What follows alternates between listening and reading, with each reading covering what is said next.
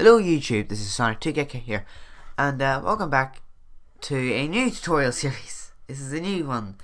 Uh, it's a Python tutorial series, but the old one was pretty, eh, it was alright. So, um, now that I know a lot more of Python, I know a lot more about it, I thought I would start the series again from uh, scratch, and it's going to be in Python 2.7.6 uh, there's no difference virtually, but 2.7.6 fixes a crash that uh, had an effect on Mac OS 10 Mavericks machines, even though Apple still ship Python 2.7.5 as the default Python for uh, OS X or OS 10, OS X, whatever you want to call it.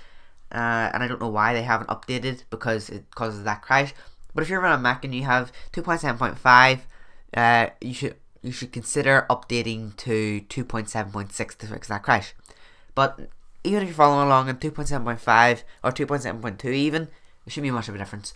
But note that installing a different version of 2.7 will overwrite your current 2.7 installation because of the way Python works. Um, let's get on with the series though. So, uh, I'm going to assume that you have no Python knowledge and that you've just installed Python and that you're just raring to go. You're you're ready to get into coding your first Python application. So to do that, what we do is we type print hello world. Oh, I'm running low today. Uh, see build system uh, Python. I'm using Sublime Text and I can just build it.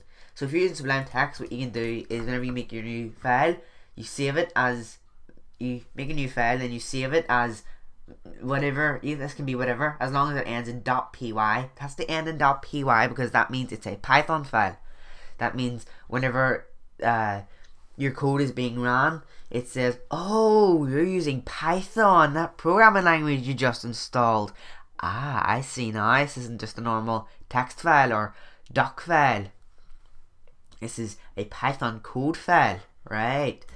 So if you're using uh, Sublime Text and it doesn't automatically default to this, select Python, go to Tools, Build System, and Python. This is the same in Sublime Text 1, 2, and 3. Well, I'm not sure about 1, but I would guess it would be the same in 1. So we build this. In Sublime Text, you can build with Control B or Command B. But if you're just running Windows and you're using a regular editor or you're using Notepad, what you want to do is you want to type you want to go to where your file is stored. So in my case, it's in programming, Python, uh, YouTube tutorial series. It's there. Uh, to check to make sure you have Python installed, type Python. If you get an error like uh, command not found, there's a problem.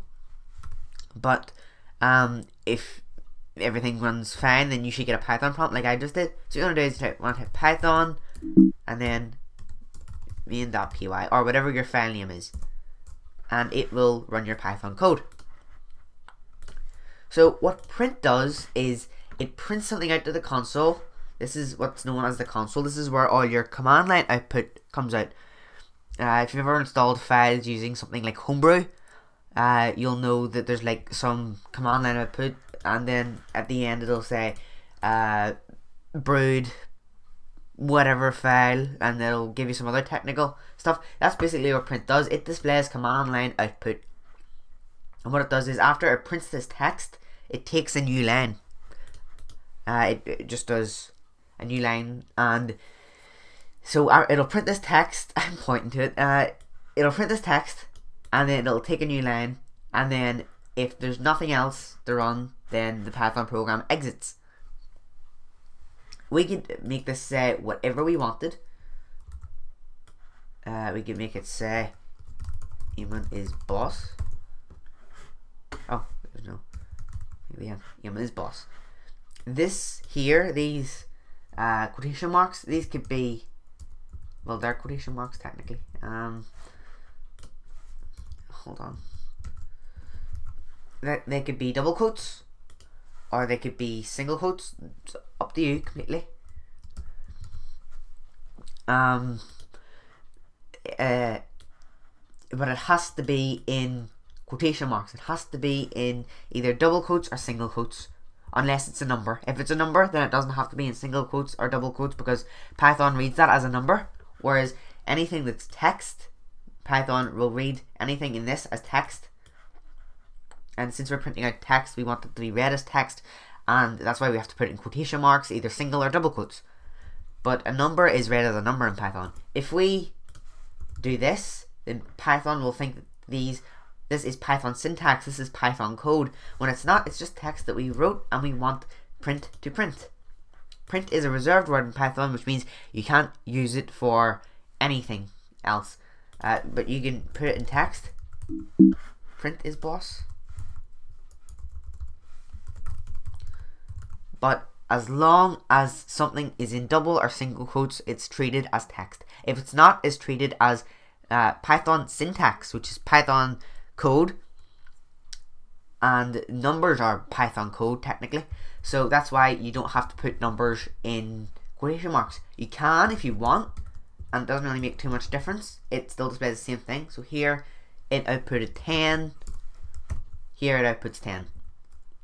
Notice how Eamon is just grey, but that is pink.